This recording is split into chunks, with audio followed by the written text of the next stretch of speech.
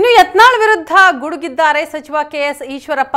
ಯತ್ನಾಳ್ಗೆ ಕಾರಣ ಕೊಡದೆ ಉಚ್ಚಾಟನೆ ಮಾಡಬೇಕು. ಕೊಪ್ಪಳದಲ್ಲಿ ಗ್ರಾಮೀಣಾಭಿವೃದ್ಧಿ ಸಚಿವ ನೀಡಿದಂತಹ ಹೇಳಿಕೆ ಇದು. ಯತ್ನಾಳ್ ವಿರುದ್ಧ ಗುಡುಗಿದ ಸಚಿವ ಕೆಎಸ್ ಈಶ್ವರಪ್ಪ. ಯತ್ನಾಳ್ಗೆ ಕಾರಣ ಕೊಡದೆ ಉಚ್ಚಾಟನೆ ಮಾಡಬೇಕು. ಕೊಪ್ಪಳದಲ್ಲಿ ಗ್ರಾಮೀಣಾಭಿವೃದ್ಧಿ ಸಚಿವ ಈಶ್ವರಪ್ಪ ಹೇಳಿಕೆ. ರಾಜ್ಯಾಧ್ಯಕ್ಷರಲ್ಲಿ ಪ್ರಾರ್ಥನೆ ಮಾಡ್ತೀನಿ, ಉಚ್ಚಾಟನೆ ಮಾಡಿ. ಉತ್ತರ ಕರ್ನಾಟಕದವರು ಸಿಎಂ ಆಗಬೇಕು ಎಂದಿದ್ದ ಯತ್ನಾಳ್, ನೋಟಿಸ್ ಕೊಡೋ ಅವಶ್ಯಕತೆ ಇಲ್ಲ, ಉಚ್ಚಾಟನೆ ಮಾಡಿ.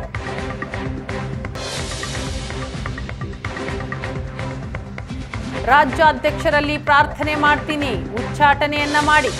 ಉತ್ತರ ಕರ್ನಾಟಕದವರು ಸಿಎಂ ಆಗಬೇಕು ಅಂತ ಹೇಳಿಕೆಯನ್ನ ಕೊಟ್ಟಿದ್ದ ಬಸನಗೌಡ ಪಾಟೀಲ್ ಯತ್ನ ನೋಟಿಸ್ ಕೊಡೋ ಅವಶ್ಯಕತೆ ಇಲ್ಲ, ಉಚ್ಚಾಟನೆ ಮಾಡಿ ಅಂತ ಹೇಳಿದ್ದಾರೆ. ಇದು ಬಿಜಾಪುರದ ಅಭಿವೃದ್ಧಿ ಹಿಂಗೆ ನಡೆದದ? ಇನ್ನೇನು ಎಲ್ಲ ಕೆಲಸ ಒಮ್ಮೆ ಆಗ್ಲಿಕ್ಕಿಲ್ಲ. ಈಗ ಹೇಳಿದ್ರೆ ಉಮೇಶ್, ನೂರ ಇಪ್ಪತ್ತೈದು ಕೋಟಿ ರೂಪಾಯಿ ಬಂದಿದ್ದನ್ನು ನಮ್ಮ ಮುಖ್ಯಮಂತ್ರಿಗಳೇ ತಕೊಂಡ ಮ್ಯಾಗ ಅವರಿಗೆ ನಮಗೆ ಜಗಳ ಚಾಲು ಆಗೈತಿ. ಅವ್ರು ಬರೀ ಶಿವಮೊಗ್ಗಕ್ಕೆ ಹೋಗ್ಲಾಕತ್ತಾರೆ ಈಗ ನಮ್ಮದು ಮೊನ್ನೆ ಆಗೈತೆ ಸ್ವಲ್ಪ. ಈ ಗ್ಯಾಂಗ್ ಬಾಡಿಯಲ್ಲಿರುವಂಥ ಎಲ್ಲ ರೋಡನ್ನು ನಾವು ಸಿಮೆಂಟ್ ರೋಡ್ ತೊಗೊಂಡಿದ್ವಿ. ಎಲ್ಲ ಕಂಪ್ಲೀಟ್.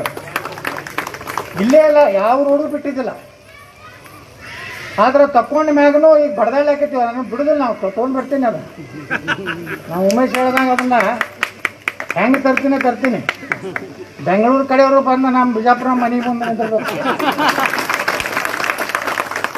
ಈಗ ನಾವು ಹೋಗಿ ನಿಂದಿರ್ತೀವಿ ಎಲ್ಲಾರು ಮನೆ ಮುಂದೆ.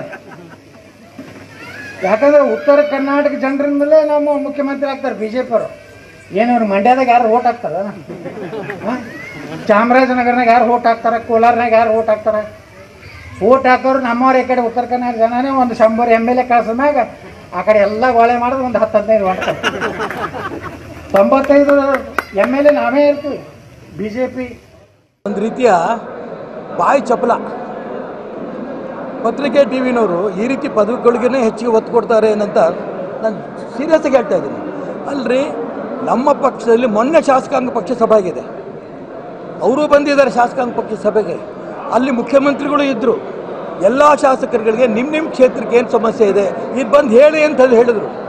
ಸುಮ್ಮನೆ ಕೂತ್ಕೊಂಡು ಬಾಯಿ ಮುಚ್ಕೊಂಡು ಕೂತ್ಕೊಂಡು ಇವತ್ತು ಇದ್ದಕ್ಕಿದ್ದಂಗೆ ಉತ್ತರನ ಪೌರುಷ ಅನ್ನಂಗೆ ಹೇಳಿಕೆಗಳು ಕೊಟ್ಟರೆ ಮುಖ್ಯಮಂತ್ರಿಗಳು ಬದಲಾವಣೆ ಆಗ್ತಾರೆ. ನಾನು ನರೇಂದ್ರ ಮೋದಿಯವರ ಅಭಿಪ್ರಾಯ ಇದ್ದರೆ ಈ ರೀತಿ ಹೇಳಿಕೆಗಳು ಮಾತ್ರ ಕೊಟ್ಕೊಂಡು ಬಿ ಜೆ ಪಿ ಸರ್ಕಾರ ಬಿದ್ದುಬಿಡುತ್ತೆ ಬಿದ್ದುಬಿಡುತ್ತೆ ಒಬ್ಬ ಯತ್ನಾಳಿ ರೀತಿ ಹೇಳಿಕೆ ಕೊಟ್ಟರೆ ಅವ್ರು ಹೇಳಿಕೆ ಅದಕ್ಕೆ ಹೇಳಿದ್ರೆ ಫೂಲಿಶ್ ಅಂತ.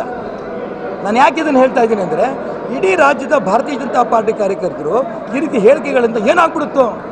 ಗಾಬರಿ ಆಗಲ್ಲ. ಇಂಥ ಹೇಳಿಕೆಗಳು ಭಾಳ ನೀವೇ ಹೇಳ್ರಿ, ಪದೇ ಪದೇ ಪದೇ ರೀತಿ ಹೇಳಿಕೆ ಕೊಡ್ತಾರೆ ಅಂತ. ಈ ರೀತಿ ಮತ್ತೆ ಮತ್ತೆ ಅವ್ರು ಹೇಳಿಕೆ ಕೊಟ್ಟರೆ ಈ ಹೇಳಿಕೆಗೆ ನಾವೇನು ಬೆಲೆ ಕೊಡಲ್ಲ. ಆದರೆ ನೀವು ಹೇಳ್ದಂಗೆ ಖಂಡಿತ ನಮ್ಮ ರಾಜ್ಯದ ಮುಖ್ಯ ಅಧ್ಯ ಅಧ್ಯಕ್ಷರಿಗೆ ನಾನು ಪ್ರಾರ್ಥನೆ ಮಾಡ್ತೇನೆ. ಇಮ್ಮಿಡಿಯೇಟಾಗಿ ಅವ್ರನ್ನ ಪಕ್ಷದಿಂದ ಹೊರಗಾಕಿ ಮುಂದಿನ ನೋಟಿಸ್ ಕೊಡೋ